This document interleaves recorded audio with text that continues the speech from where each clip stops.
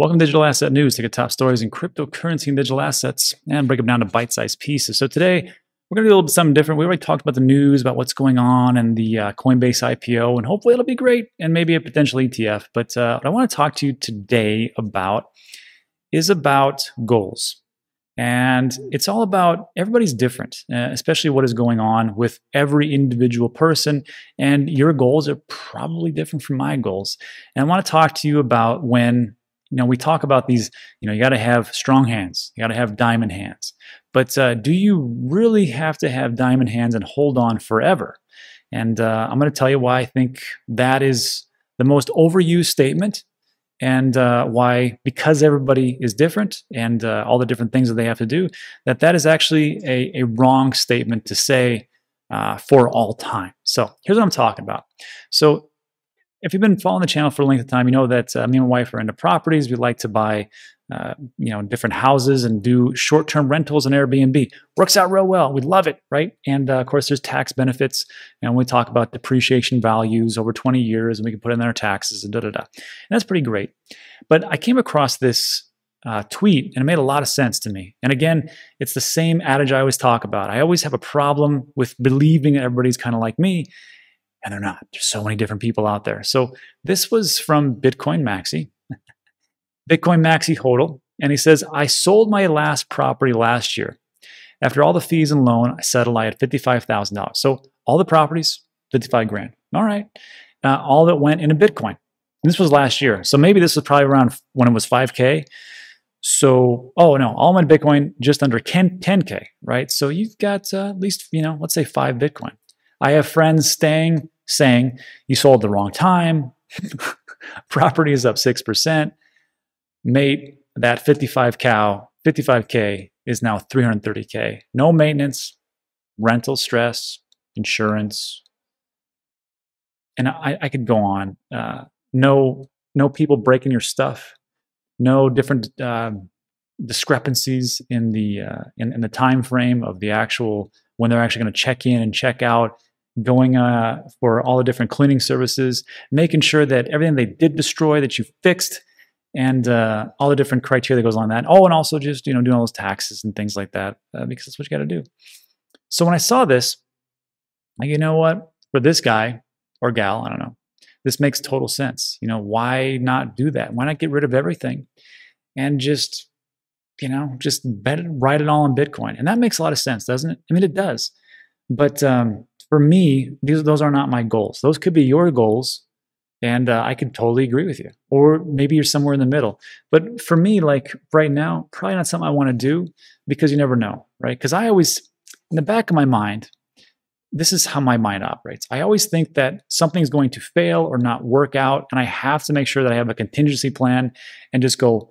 You know, if you think it's going to be an A, you got to do B, C, D, and E, maybe an F. Because if not, things could just go down sideways, and then where are you going to be, Rob? Uh, so these are the things I always think about. But again, this is this person's goal, right? So here's an example. If you're like 20 years old and you're thinking to yourself, man, I got to do all these things. I got to, I got to get rich this, uh, th- this cycle. I got to get rich this bull run. I got to put everything into. No, you don't. I mean, this is not financial advice, but I'm just saying if it's me talking to 20 year old Rob, uh, I'd be like, listen, man, you've got a lot of time to do a lot of different things. On top of that, it's not like the price of cryptos are going to be just go to the moon and then at a certain point it just flatlines and you'll never be able to catch any other ones. So you got to do it this this bull run. That's bull. That's that's that's that's ridiculous. So when I see something like this, I'm like, for this guy and this goal, this makes total sense, right? And then when I hear about these statements like, you got to have diamond hands, you got to have rock hands, you got to have strong hands. I always look at this and I'm thinking to myself, I remember this in 2017. I remember this in 2017. I remember this 2018 and 2019 and 2020. And I got to tell you, I would be better served if someone would have said to me, Rob, you know what? There's these things called cycles. And, uh, you know, you can hold on to it and just kind of set it and forget it and uh, you'll be okay. Or if you're really into the market, you might want to think about at some point selling some of your assets because they will go down. They will not go up forever. And if you don't sell, that's fine. You can just write them all out. You don't lose any money unless you sell. So just do it that way. Or you can just sell a little bit and get back in. You can sell 80%, 90%, 100%. It's all what you want to do. So when I hear all these statements about you got to have diamond hands, you got to have strong hands, in the back of my mind, I think to myself, again, 2017, 2018, I'm thinking to myself, you know what? Does that help you or does that help me? Because sometimes, a lot of, I think sometimes, a lot of times, there's two reasons. First of all, people know what the heck they're talking about. And second reason is they want you to hold so they can dump on you. And uh, that's what happens. Now, it's still solid advice, right? I'm an investor. I'm going to be here for the long haul, but I do have an exit strategy. And once I hit a certain price point, um, I am going to be 80% out of alts and 50% out of Bitcoin because I expect at some point a crash, not a dip, a crash. Because right now, think about what your coin does. What does it do right now that is a real world application and not like what they tell you it's going to do as far as speculation, what it actually does today.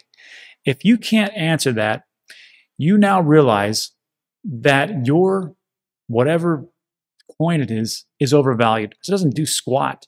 So if you're looking at things that actually do things, Bitcoin is a store of value. I think we can all agree in that. And a lot of people are behind that. There's a lot of old money, a lot of new money, a lot of smart money that's going to be building on that. So Bitcoin, gotcha, right? Ethereum, everybody's building on Ethereum. So I can see that. Will it be the the the, the greatest of all time and forever? I have no idea. That's why I bet it. That's why I put money in Ethereum and other smart contract type platforms. Can Cardano do a lot of things? Not right now. Sure can't. Can you? Do you have a lot of people building on a Cardano? No, you do not. But these are one of those things that you take a look at and go, well, maybe at some point that is a speculative asset. Binance Coin is one of those coins that actually does something right now. We just did a story where you can um, actually purchase, I guess, for with Binance Coin, you can actually have a reduction and to certain types of stocks. Right now, they're going to start with Tesla. On top of that, you can stake it. It'll reduce your fees. They're going to have on a debit card. I think a credit card too. I'm not for sure. So that actually does something. Okay, StormX, actually does something, right? You can actually go to a store online, they have over 750 partnerships, and you can buy something and get cash back. The more that you actually stake it, the more cash or, sorry, crypto back that you get. And then Voyager, same type of thing. Uh, they're going to do all these things that, uh, you know, same thing, debit card, credit card, hopefully stocks. Uh, you can you can stake it, reduce the fees. People that you actually refer, you can increase the referral fee. That actually does something. So, it's not a rant, but all these different things about people saying you've got to have diamond hands and you should never ever sell. Sometimes you got to look at it and go, yeah, I believe in the long term of this project, but on the other one, maybe it's not a good, good idea to actually dump things or to actually dump things at some point. So I'm just going to tell you a little, this was, I'm going to tell you a little story. And this is what I always think about. It's, it's a, it was a story about, actually I'll get to that in a second. Amazing Stories was a was a, a show back in like the mid '80s, and it was uh, I think it was Steven Spielberg was the director. It's crazy, and he did all these different stories, and one of them was starts out with a kid. This will make sense in a second. Starts out with a kid, and he's just sitting there under a tree, and all of a sudden, this gnome or something like that. Again, first of all, you're not going to see a great picture because it was in the '80s. Some like elf gnome thing. It's like, hey, don't sell. This was a weird thing to tell a kid. Hey, don't sell uh, all your different trinkets and stuff because they're going to be treasures someday. And uh, the kid's like, okay, I'll do that. And he follows this elf's advice forever, right? Which is kind of like the internet if you think about it. You don't know who's on the other side. It's like just some person who could be schizophrenic and be like, you should do this. And you're like, what? Okay. So fast forward like uh, 10, 15 years, that's Mark Hamill from Star Wars. And his parents are kicking him out of the house. Like, why are you kicking him out of the house? Like, well, you bought this stupid car and you don't want to get rid of it. You don't want to go to college. You don't want to do anything. And also, you have all these stupid comic books and trinkets and, and baseball cards, which are worthless right now. So why do you even have this? He's like, oh, okay. You would think at this point, like, okay, I should probably get my my my S together. But uh, no, he keeps getting these visits from this stupid elf thing who tells him, just hold on, just hold on, diamond hands, strong hands. And before you know it, it's like 40 years later, and uh, he's riding around the same piece of junk car, and he's got all the things that he ever owns in this car, right? And it goes on, and then you see him, his house gets demolished because he was squatting, he didn't even own it. And then when he's like super old, he goes to Vegas And he's got all this stuff in there. And some lady pops out and's like, hey, I, I was looking for this cup.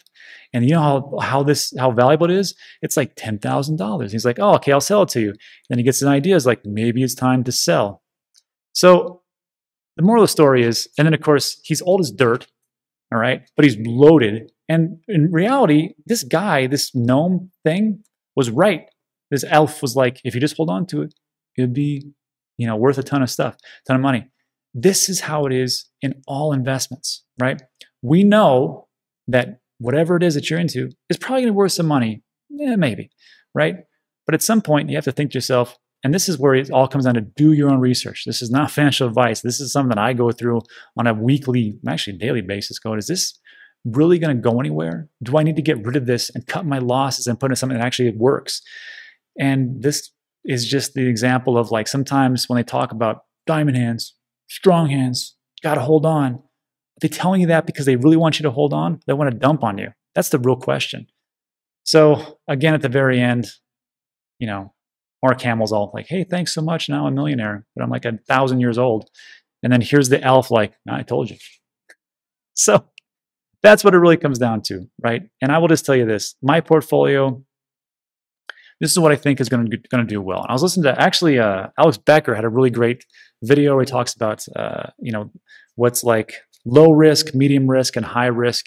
And he talks about different things that he's into, and it makes a lot of sense, right? So if this poor SOB, if he just would have like, you know, maybe in the 40s and 50s and 60s, maybe if he invested into some other type of like a stock or maybe real estate or maybe something else. He could have kept all that stuff and he could have made a killing later on. But guess what?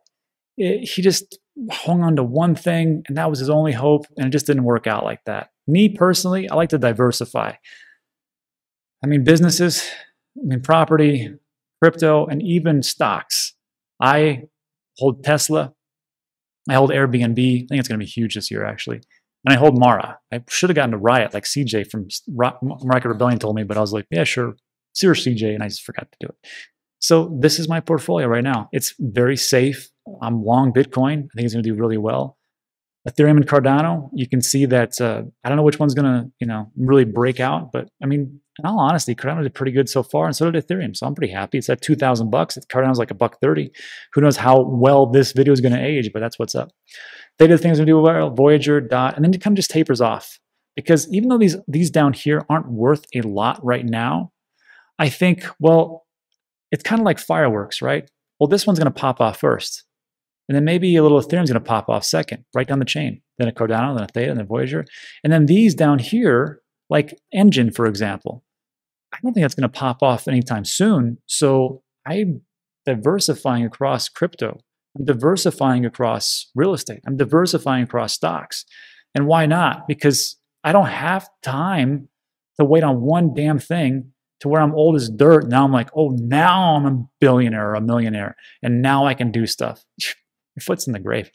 So, not, that's a very, like I said, a very elongated uh, story and uh, you know it's it's it, it, takes things to the extreme but i just wanted to share it with everybody because sometimes these diamond hands and strong hands you got to understand like what's that what's your real function behind it it's only up to you to make sure it's the best decision for you and your family and uh, that's all I got. So anyhow, thanks for watching the video. Uh, if you found value in that, give it a thumbs up. Also consider subscribing. That helps a ton. And that's it for today. So thanks so much. See you on the next one.